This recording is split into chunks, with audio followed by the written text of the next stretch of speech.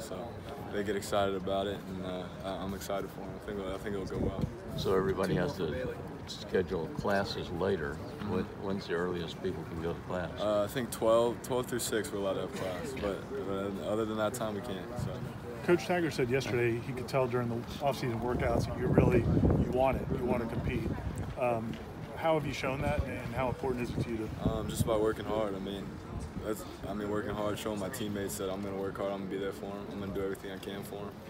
And uh, I mean, I'm just trying to prove prove to my teammates and my coaches that, that I could be that I could be out there on the field. And what are some of the things you like about what you've seen from the offense just in the meeting room or, or reading the playbook and that type of um, you know, it's it's a lot. It's fast. It's, it's the plays are a lot simpler. It's more it's more toned down, but uh, it's effective. You know, we, we really know what we're doing. We really so we can really go fast and, and execute well. Bailey, what would uh, what would you say to the people who are counting you out of this quarterback competition? Don't do it.